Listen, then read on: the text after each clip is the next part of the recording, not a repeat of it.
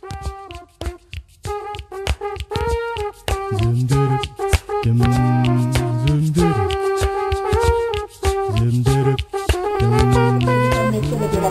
dan lebih efektif dalam organisasi mereka. Mm-hmm. Okey.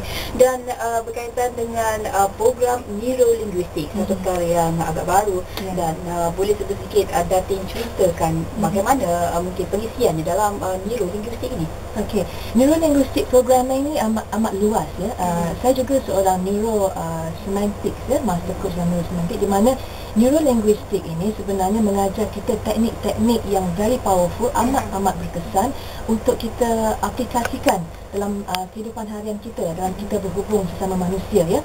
Dan uh, dalam kita berhubung sesama manusia, maka kita perlu ada teknik-teknik yang uh, yang boleh kita gunakan untuk mendapatkan uh, matlamat itu, kita itu tercapai. Mm-hmm. Misalnya kalau kita dalam bidang sales ataupun marketing ya, kita perlu ada yang uh, mana uh, boleh juga memperkembangkan sayapnya. Seperti mm-hmm. kata tadi, mm-hmm. hanya 500 uh, master practitioner coach mm-hmm. yang uh, berada dalam bidang ini dan mengapa uh, sektor ini uh, kurang diperkembangkan dan juga um, kurang uh, mendapat uh, perhatian daripada masyarakat khususnya. Ya. Hmm. Sebenarnya uh, apa yang kita terapkan dalam program NLP ini sebenarnya tanpa disedari mungkin antara kita sudah melakukannya tapi kita tidak mengasahkannya hmm. dengan lebih konsisten. Hmm. Ya.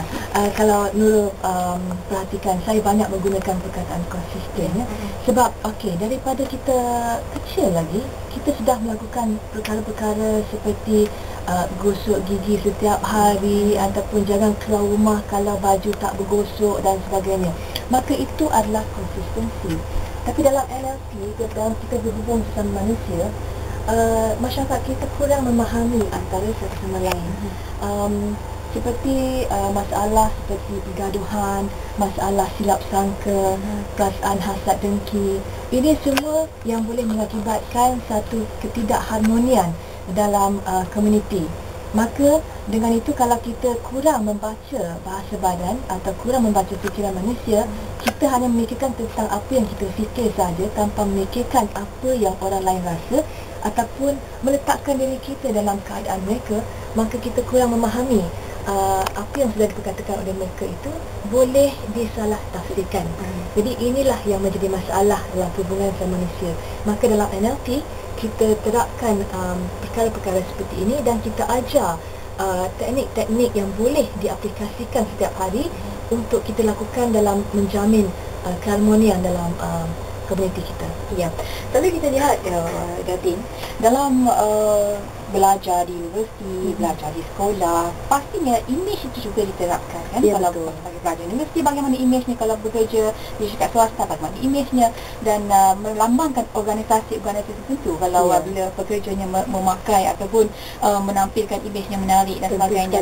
Okey. Hmm. Jadi uh, kalau uh, perkara sebegini Datin, program ataupun kursus banyak dilakukan uh, dan uh, ada maya konsultasi diwujudkan oleh Datin sendiri. Apa mungkin keberkesanan yang Datin lihat atau impaknya kepada masyarakat? Impaknya kepada masyarakat ialah apabila mereka melakukan apa yang kita uh, ajar. Ya. Kalau kita belajar tanpa kita lakukan maka itu adalah sia-sia.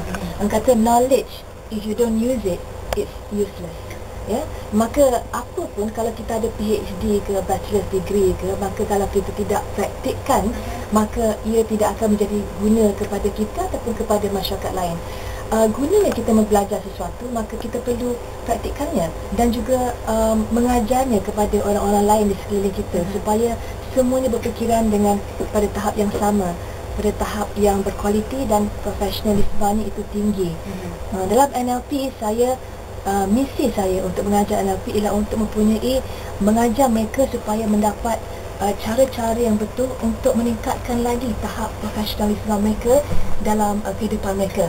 Ya, itu yang kita inginkan supaya kita semua menjadi satu komuniti yang profesional dan berkualiti dan juga efektif. Hmm. Okey, dan kita lihat sekarang uh, kalau lelaki dan wanita fashionnya sudah besar semakin meningkat yeah. dan uh, juga mereka lebih berketerampilan, lebih hmm. yakin dan sebagainya. Uh, jadi uh, saya ingin bertanya ataupun pendapat daripada Datin sendiri berkaitan dengan uh, kursus-kursus yang uh, dihadiri oleh peserta dan sebagainya. Kadang-kadang uh, memberi impaknya ataupun kesannya semasa kursus itu berlangsung saja. Hmm. Tapi lepas itu mungkin mereka agak keliru bagaimana sebenarnya nak me- menyesuai padankan pakaian hmm. dan juga warna dan sebagainya. Hmm. Adakah uh, khusus begini Datin kan ataupun uh, pengurusan imej ini hanya memberi kesan sementara ataupun uh, bagi mereka yang faham faham ataupun ilmu itu perlu lebih uh, didalami oleh uh, peserta ataupun ya perlu. Kita tidak boleh menganggap bagi sesuatu organisasi, organisasi itu untuk menganjurkan bengkel imej seperti ini maka mereka juga perlu faham ya bahawa imej itu kita tidak boleh menganggap bahawa manusia akan bertukar pada uh, uh, overnight ya. Satu malam dah tukar drastik. Jadi hari ni ajar image, esok dah jadi terror dah boleh jadi. jadi macam Cinderella. Uh, Cinderella ya. macam I ni fairy godmother. Tapi kan.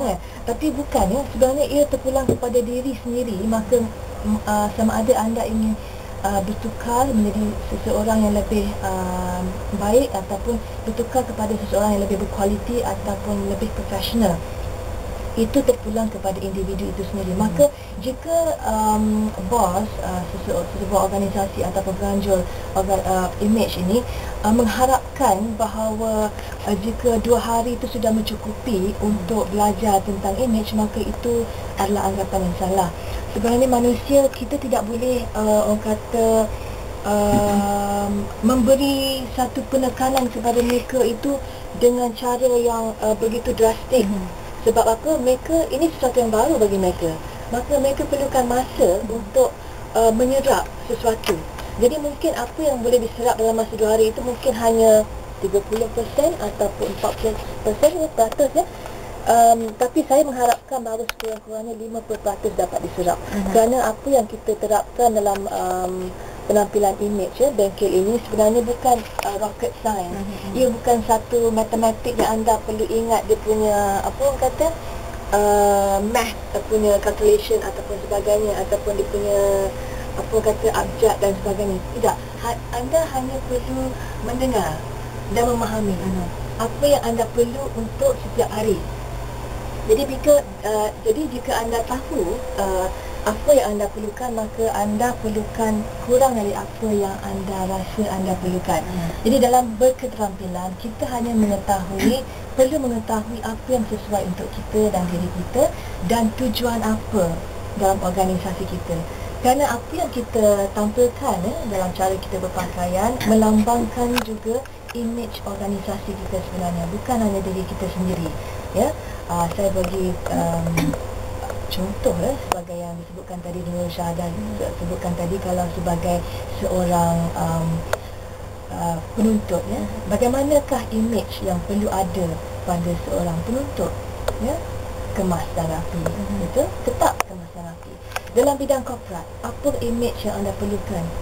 Kemas dan rapi mm-hmm. itu adalah asas sesuatu image ya.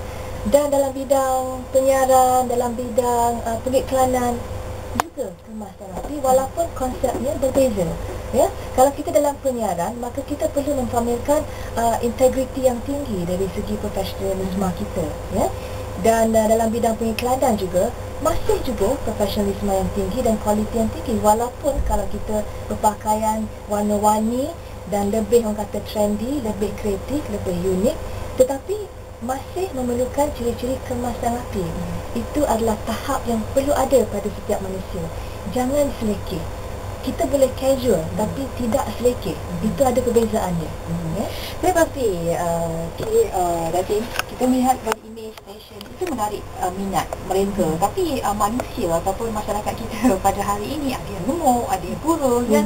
ada yang sedang-sedang dan uh, mungkin itu agak sukar sebenarnya untuk uh, mereka mencuba sesuatu image atau fashion hmm. yang tertentu mungkin tidak yakin hmm. dan sebagainya kan yang mana uh, mungkin contohnya mereka yang badan besar kan uh, hmm. nak cuba uh, fashion tertentu mungkin tidak yakin tak nak lah hmm. sebab uh, tak sesuai saya badan besar dan sebagainya hmm. jadi uh, dari segi datin uh, pandangan datin sendiri kan uh, mereka yang berbadan besar ini selalunya uh, mungkin kita lihat selekeh dan sebagainya mereka kurang uh, bergaya dan sebagainya hmm. tapi data sendiri mementingkan uh, bentuk tubuh itu menjadi faktor kepada imej uh, seorang itu atau bagaimana? Ya, bagi saya saiz um, tidak menjadi masalah dan tidak menjadi isu utama sebenarnya.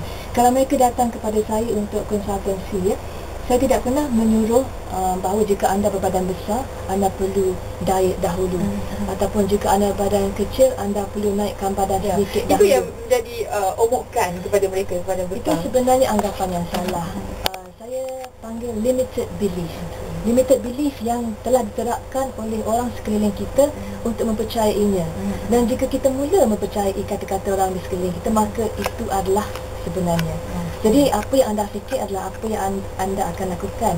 Jadi apabila anda sudah berfikiran seperti itu, maka anda tidak akan melakukan apa-apa untuk berubah. Mm-hmm. Kerana orang sekeliling telah menetapkan kepada anda mm-hmm. bahawa anda adalah itu. Mm-hmm. Jadi bagi saya uh, size tidak menjadi isu yang besar. Itu bukan isu yang besar.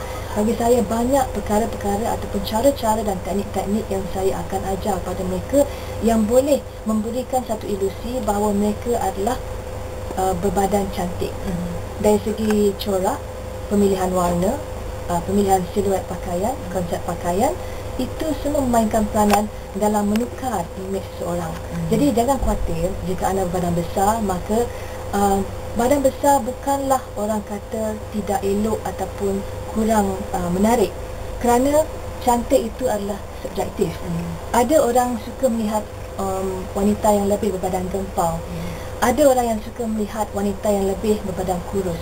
Tapi sebenarnya media memainkan peranan kerana mereka sentiasa menampilkan orang yang badan kurus itu adalah orang yang cantik.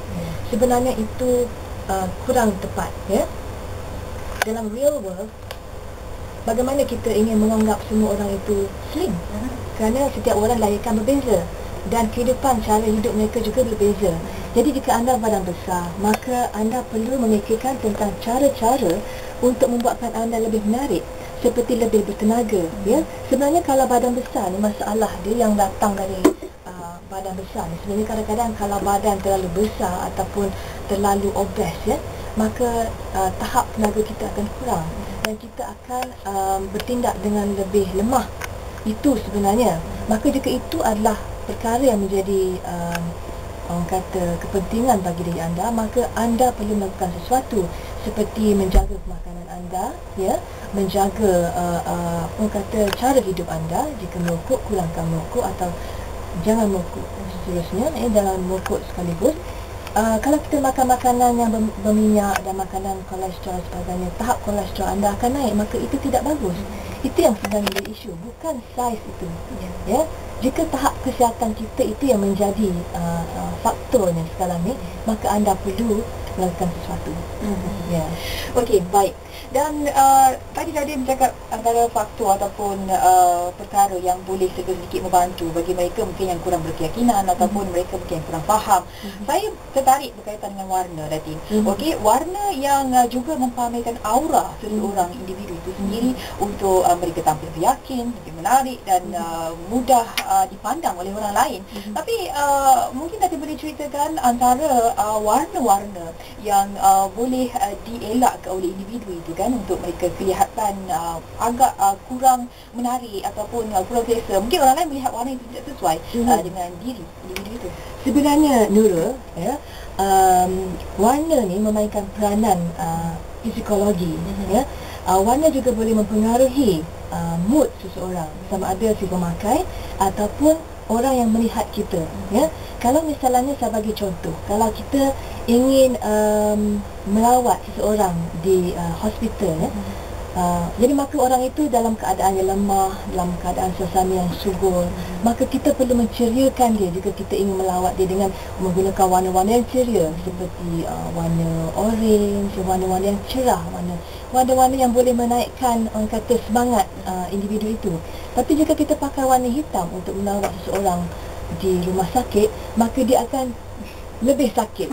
Kerana warna hitam mempunyai uh, tahap uh, psikologi ataupun uh, suasana ya ataupun uh, aura yang yang boleh membuatkan seseorang itu uh, merasakan lebih sedih ataupun uh, sayu dan subdued eh.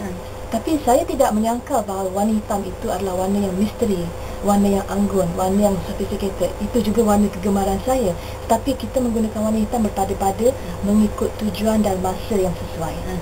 Tengah orang bila melihat warna hitam uh, katanya boleh dipadankan dengan apa juga warna. Tapi Ya. warna kuning. Boleh Black merah, is boleh the queen of all colours. Ya. Ya. Okey, tapi uh, seperti Datin juga katakan berpada-pada menggunakannya. Hmm, berpada-pada. Okey.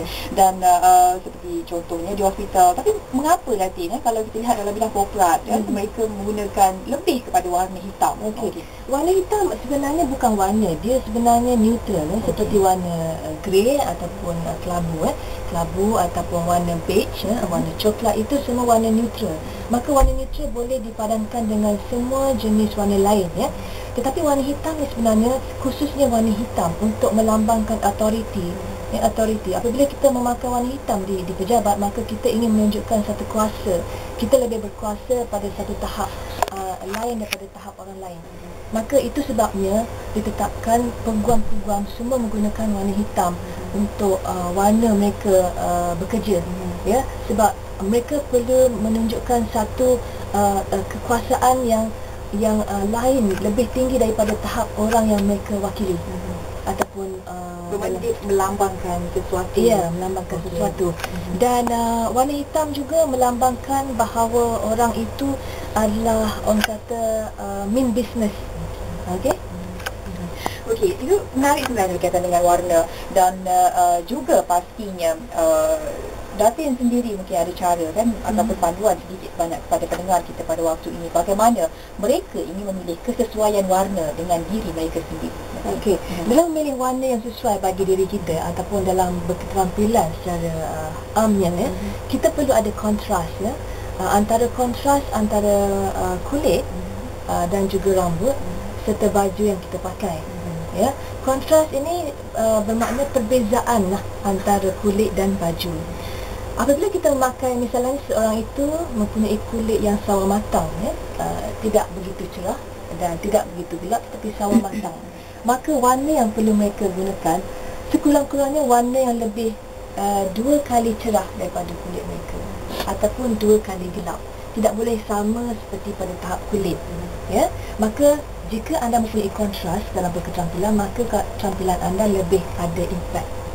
Ya. Mungkin memberi kesan juga Kesan. sebenarnya uh, bukan melihat itu sedikit banyak membantu dari segi rambut, warna kulit, uh, wajah dan sebagainya tapi uh, Datin, uh, waktu ini kita melihat artis-artis